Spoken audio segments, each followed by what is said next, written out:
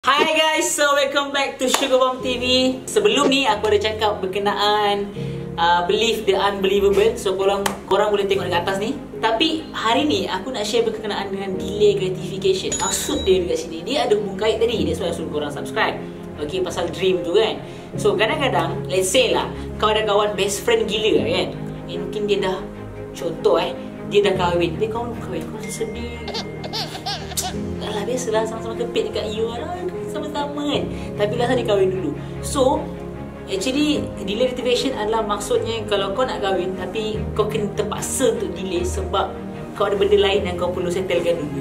For example Mungkin kau nak duit kau tu Kau nak bawa mak kau pergi umrah And it's more valuable Daripada kau kahwin dulu. So itu adalah delay gratification. So which is kau tak boleh compare Your life dengan your friend tadi walaupun dia best friend ke sama makan ke sama-sama pergi dapat power ke apa everything ah sama-sama pun.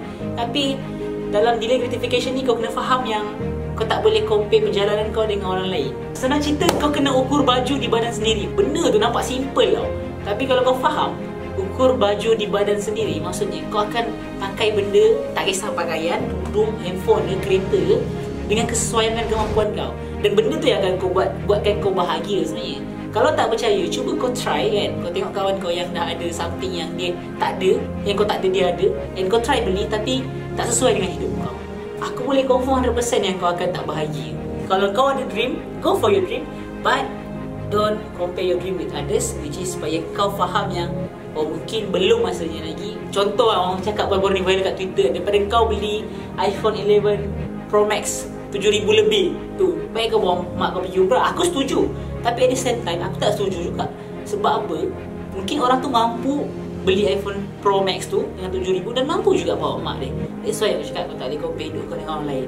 So tengok mana yang lagi penting. Dan barulah yang lain akan datang. So no worries bro. So kita jumpa lagi untuk next episode alright? So Jangan lupa subscribe Sugar Bomb TV Percuma guys. Percuma. So banyak lagi kita akan share. Alright? Assalamualaikum